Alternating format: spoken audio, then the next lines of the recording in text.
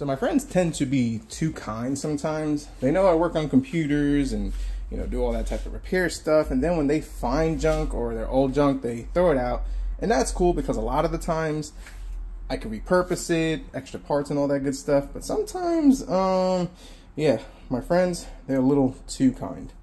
Case in point, laptops. So now laptops videos on the channel are just hit or miss, but I figure I'd turn the camera on and just record what I do with them. But also, he threw in this one, and this one is kind of cool looking. And cool looking stuff, you know, I like to tinker with it. So this one, um, I'm just kind of looking at it right now, but it's an M4500. Has a Core i7 vPro, Windows 7. So maybe it works. I guess we'll find out. Now these, um, I don't know. So now the thing, one of the things I do uh, keep in mind with laptops is I take them because typically they'll have a Windows activation key. And yeah, those are worth their weight. It's like what, 10 to $20 if you save money uh, buying it on those websites, CD key, whatever, who they are. But old computers, one of the reasons why I keep them, Windows key. Folks, see an old computer, grab it. That Windows key, that saves you a couple of dollars, you know? So let's take a look at this one. I mean, this is not going to be in depth on these two, but this one, Windows 8 Action, looked it up on the Dell website. So it's the Inspiron 3521, um, Intel 3rd gen, Pentium dual core 2nd gen. So I think this one is the Pentium.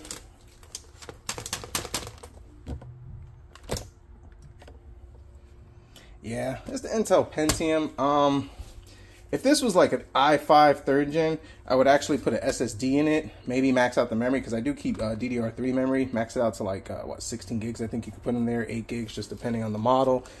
And uh, really for like $20 for the SSD, because I'll put 120 gig in there, I could sell this easy for 100 bucks. But I don't like selling the Pentium dual cores, I just, or even Celerons, they lag, so... Uh, I think this one is going into the parts pile, so let's get this stripped up real quick and just snag up the memory. Looks like somebody was in here. Maybe they took out the drives.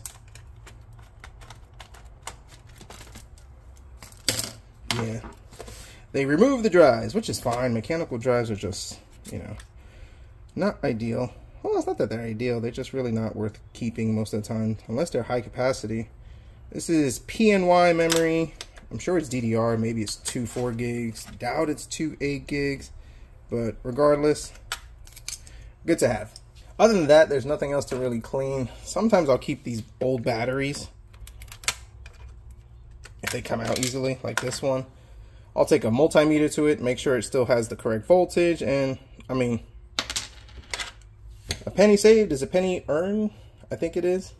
But other than that, I mean, I really don't have no value for it, so um, I'll scrap it out. I know people, you could run Linux and retro, but this one is not in the place where I would run a retro Linux. I don't know. I mean, really no purpose for it. And also, I don't have the charger, so yeah. Trash heap. In the garbage, you shall go. This one is the HP. What flavor do we got? The A8s, which I do not like those series. Windows 7. Um, does have an activation. So, side note, funny story. When I first started doing the YouTube thing, um, I did a video and I didn't cover this up. And I, when I went to go activate my Windows key on a separate computer, yeah, somebody had taken it. So, I learned my lesson. Now, let's open this thing up. The biggest thing we're going for is just the memory. Um,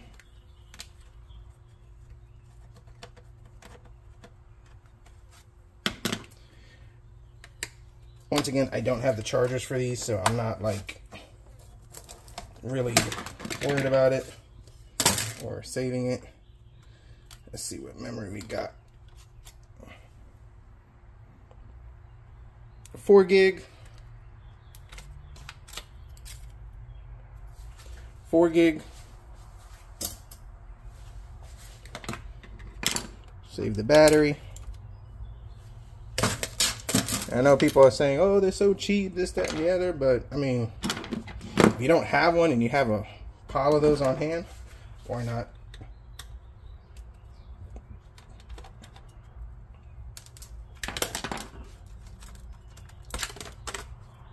No drive, which is fine. This I'll actually save because I guess this is common for HP. This is their adapter for their drives. And I've seen a lot of these go bad in a couple laptops I go in, so that's worth saving. Um, I mean, I guess we could save the Wi-Fi card. Nah, I'm not going to save that. I got a ton, ton, ton of those. Other than that, Windows key, memory, the battery, nothing else to really save. I don't have the charger, so. And the A10, they're just, I, I don't, I don't mess with them. They're not, yeah. Nice, good looking laptop though. But by the time you put in the charger and everything, I mean, you might break even. You might be lucky to get $100, but I think the charger will be 20 20 for that, so 40 Not really worth it. Maybe I'll just keep it around. Probably not.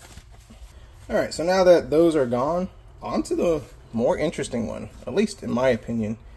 One thing about laptops is I like to snag them if they're just really cool looking. And um, I have an Alienware one coming, so stay tuned. That's a really cool laptop. But this one, yeah, kind of ugly. I mean, but I guess aesthetics was not a thing. So it's the Dell Precision M4500. I think these were released back in 2010. They usually cost about $1,500.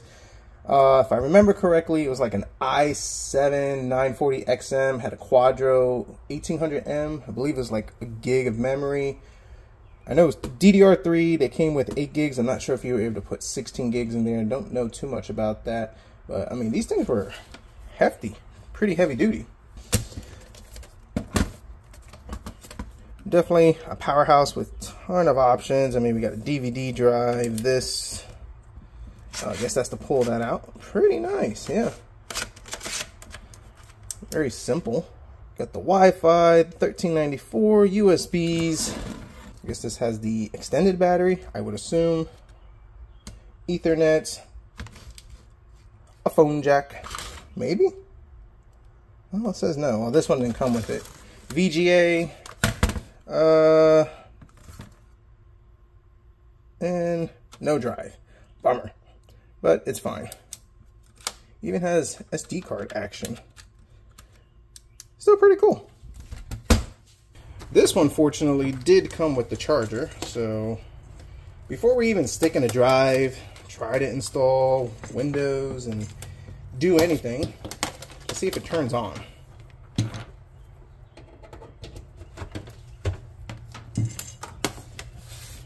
Mm -mm -mm. There we go, power.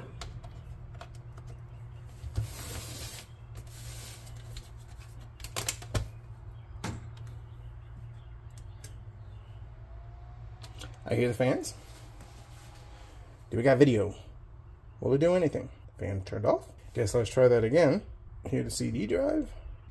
So I'm getting no video, but I'm getting a frantically flashing battery light. Sometimes with any laptop in general, removing the battery when they go bad eliminates a lot of issues. So let's delete on the battery. Uh, it's Dell. It's original. Rechargeable. Do we have a date on it? Nope, no date. And on the plus side, I did find the Windows 7 activation, so that's good.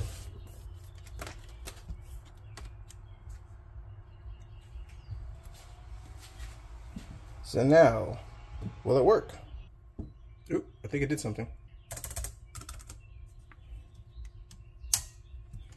CD drive is working, so we are getting power. We just got no video.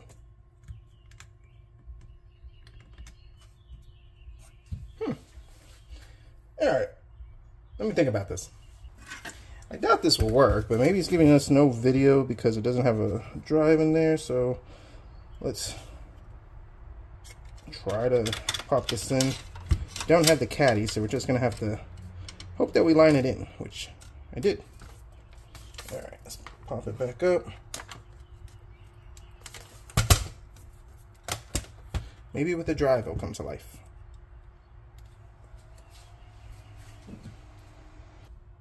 Hmm, nothing. One of the reasons why I love and I don't upgrade this monitor, it has HDMI and it has VGA. So maybe the graphics card on this thing is fried. I think it was uh, Dell had some ones with the Core 2 Duos back in the day around that time frame that uh, the graphics card would just fry. I think I had that laptop somewhere. I'm not sure, but anyways, just kind of babbling on on that. Let's see if this works.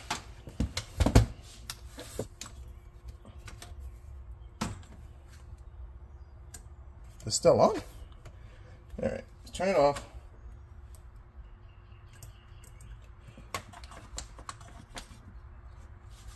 Let's go to VGA on my monitor. Well, bummer. So, um, no display, it's not coming to life. I mean, the fans turn on, but not sure exactly what's wrong with it. I'm just gonna open it up, just take a look. Maybe there's a smoking gun in there. If not, then it is what it is. But let's try seeing what's inside.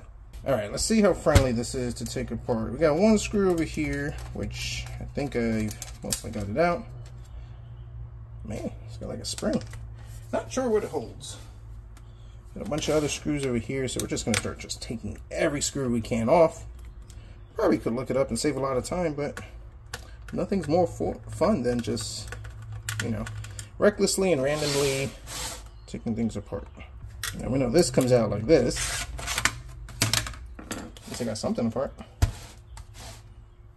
Got another screw here.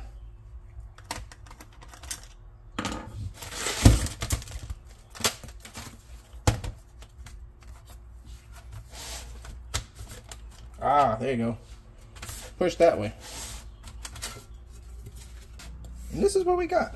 And I tell you what, folks, they don't make stuff like this. I mean, easy to take apart, upgrade, all that good stuff. Memory's right over here. CPU, you can upgrade the CPU. I mean, and then whatever that is, ENCR. I'm not going to misquote things, but you know, you can put something there, whatever that is. Uh, let's see. Maybe they tried to upgrade the memory and the memory is not compatible. I've seen that happen a time or two. Four gigs.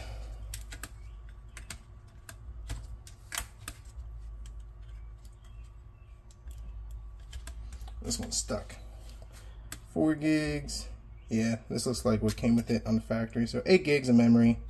This stuff is pretty good. I mean, I can't tell you how many times people come in with laptops that, you know, still have DDR3.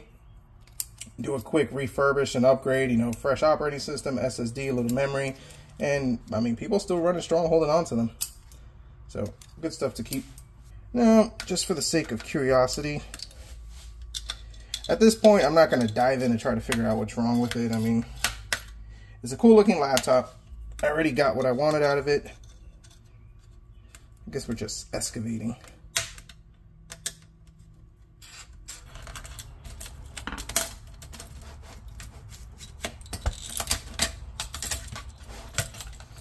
Yeah, I know the cringe factor, but I really think this thing is dead.